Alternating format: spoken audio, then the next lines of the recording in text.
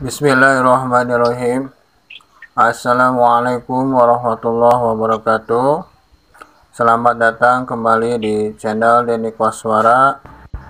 Dan jangan lupa subscribe, like, dan komen Supaya berkembang dan bermanfaat untuk kita semua. Amin.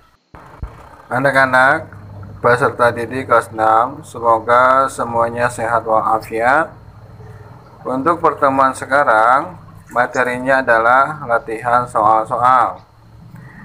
Nah sebelum belajar biasakan untuk selalu berdoa terlebih dahulu. Di antara doanya adalah Robbi zidni ilman warzuqni fahman Baiklah anak-anak, langsung kepada pembahasan soal-soal materinya.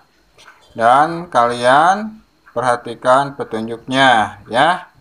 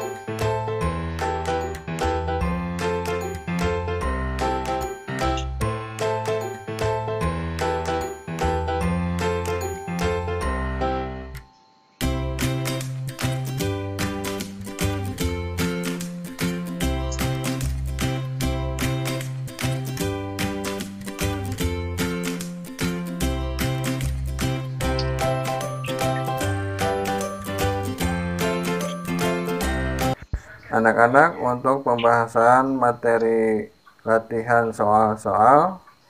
Sampai di sini mudah-mudahan kalian bisa menjawabnya dengan benar. Semangat belajar dan semoga kalian semua sukses. Assalamualaikum warahmatullahi wabarakatuh